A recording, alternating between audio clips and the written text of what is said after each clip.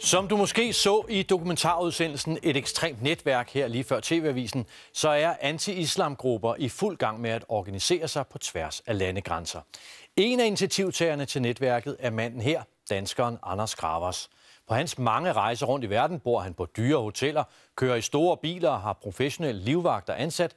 Selv har han ikke råd til at betale, men bliver angiveligt støttet massivt af anonyme, pengestærke forbindelser. All anti-Islam groups must work together to defeat our enemy and to win this war.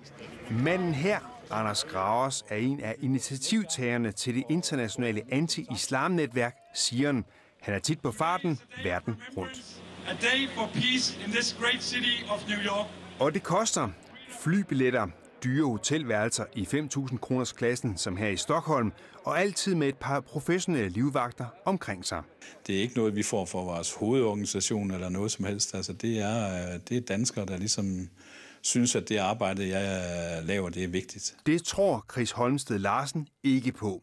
Han er ekspert i politisk ekstremisme. Jeg tror ikke, det er hele sandheden. Jeg tror også, der er en vis sandsynlighed for, at der også kommer støtte udefra for eksempel fra den yderste amerikanske højrefløj eller den, den yderste israelske højrefløj. Anders Gravers mange gøremål er som sagt ikke gratis, og Chris Holmsted Larsen mener, at højrefløjen i Israel er med til at betale. Bare som den her Israel-Palæstina-konflikt, som har rullet i mange år, og, og der er altså nogle stærke interesser i udlandet for at, og hvad kan man sige, støtte en bestemt vinkling af den her konflikt. Netop Israels flag bliver brugt ved demonstrationer, og siger netværket er meget pro-israelsk. Men Anders Gravers fastholder, at han ikke modtager penge fra udlandet, kun fra Danmark. Danske sponsorer, der, der synes, at det er vigtigt, at, at vi får sat gang i det, ja, det globale arbejde.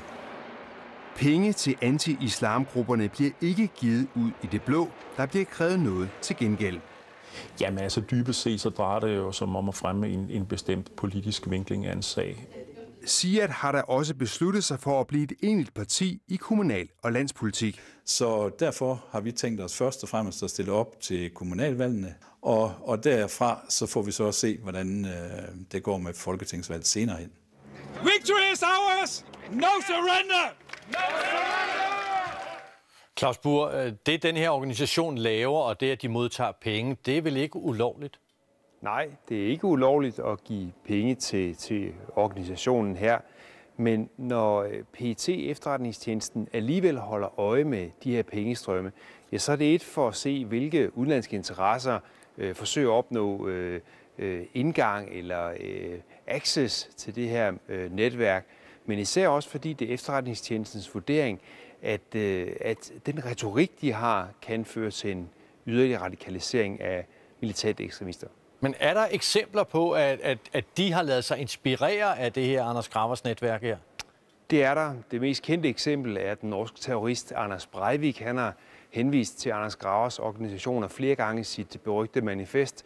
Også den unge mand, der for et par uger siden vagte stor opstandelse op i Norge igen, øh, da han angiveligt forsøgte at der troede med at ville sprænge en bombe ved det norske storting, han kom også fra en af Anders Gravers organisationer. Så jo, Anders Gravers og hans organisation bliver, over, eller bliver i hvert fald holdt øje med af PC.